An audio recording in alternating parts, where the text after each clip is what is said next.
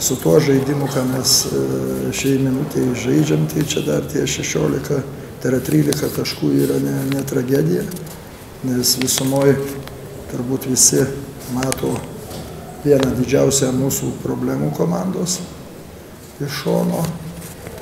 Kas yra, mes visą tą dalyką suprantam, sunku, bet atrodo šiais metais į tą rotaciją yra, bet neturim to kažkokio kiekvienose rungtynėse atskiro, atskiro lyderio. Visą laiką lygtai visi prisideda, bet mums reikia vis tiek žmogaus kažkokio, kuris vestų į priekį komandą. E, šiai minutėje, manau, Tomas Dalininkaitis, kaip kalbam, bet dabar ta, ta forma jo nėra tokia optimali. Tai vargstam lyg tai, sakau, taškų ten nedaug, bet visumoje žaidimas, kaip sakiau, nėra tas geras.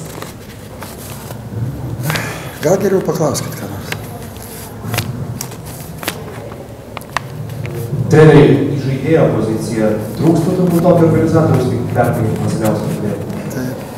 Tai sakau, visi nenori šnekėti, bet visumoje akivaizdžiai matyti, kad mums to dalyko trūksta, visi visi varžovai pasirenka realiai prieš mumi tą pačią gynybos sistemą.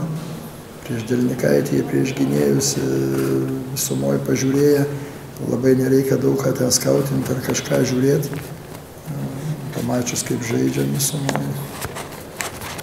Taip, nereikia daug gynybų sistemų ieškoti, nes matom, kad vis dėlto būdu, e, kaip sakant, žaidėjai nėra metikai geri ir kaip Paulius Ivanauskas, žinote, jis yra padėjęs, tai žmogus, kur eidavo ant šito keitimo, viskas tvarkoja, Čižauską mes ėmėm kaip e, pagrindinį žaidėją, visumoje tikrai galiu pasakyti netenkina, taip labai švelniai pasakius, netenkina man jų žaidimas. Na, kaip sakant, dar kiti klubai didesnių problemų turi manau. Kaip galvojate, spręsti tos problemos, ar bus sudėtinga pokyčių? Visko, visko gali būti, dabar, sakau, žinot, nesinoriu pradžioj daryti kažkokių labai jau tokių drastiškų sprendimų.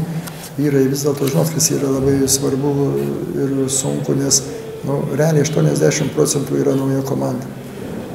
Ir labai sunku tas LKL prasidėjo labai anksti ir realiai kaip seniau likdavo keturi žaidėjai, tai mes iš karto pastebėdavot visą laiką komandą pradėdavau ypač pradžią gerai. Todėl, kad e, tie žmonės būdavo labai dauguma tie patys ir lengviau yra su jais išnekėti. Šiais metais, kai, kai iščiausia, žinot, mūsų net ta gynyba gal dabar geresnė už polimą. Aš jau netgi visą laiką ten mumi droždavo, kad va, gynyba ten ta, ta, ta, polimas toksai, aš aišku, čia tik tai tritaškius mėtau, ten, žinot, dabar realiai ta gynyba kažkiek geresnė negu puolimas, jeigu taip šnekėsiu.